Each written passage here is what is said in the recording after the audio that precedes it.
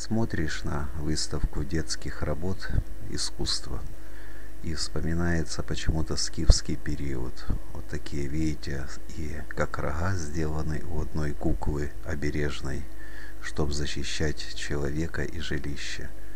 И у одной название благополучница, тоже что приносит хорошие и вести, и жизнь, и быт красиво все придумано.